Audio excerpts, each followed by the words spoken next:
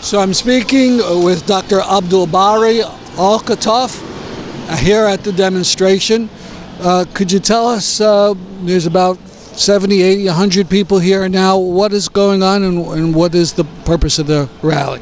Sure. Uh, basically, uh, the whole Yemenis people uh, protesting because what is going on in Yemen.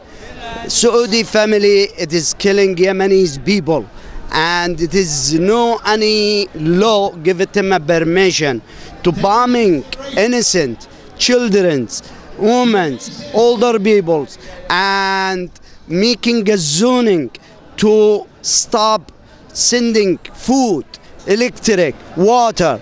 People suffering can find nothing, can find no breathing, no eating. And I don't know why the international community, Saudi family buying the whole silent from international community to bombing Yemen and the whole year and the whole international community sitting just silent because Saudi having the money and this money keep those all international community. Don't do nothing. That doesn't make no sense. It is a humanity could you tell us about some of the chants that were in Arabic? Uh, could the English translations, perhaps, of some of those chants?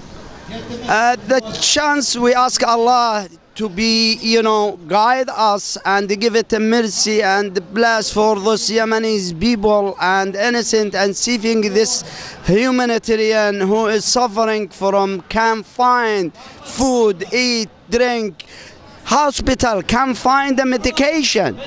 The medication, this is the big issue.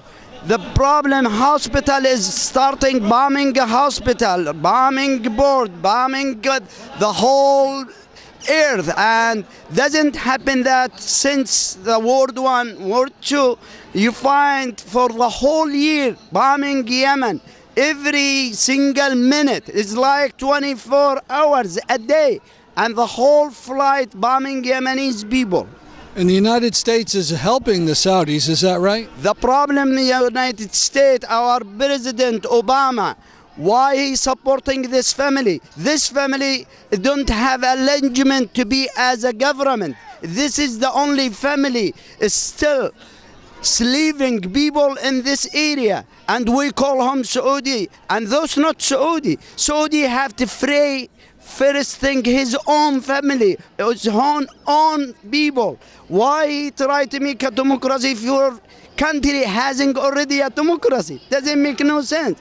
I saw a number of pictures of George Washington and a lot of American flags. Can you explain that? Yes, because our George Washington, who makes the real freedom and respecting for others, for the humanitarian, for freedom for the whole world, for democracy for the whole world. We miss it. We miss it in this new government, in our United States government. Our United States government don't care about nothing and caring about the money, is caring about collecting the oil.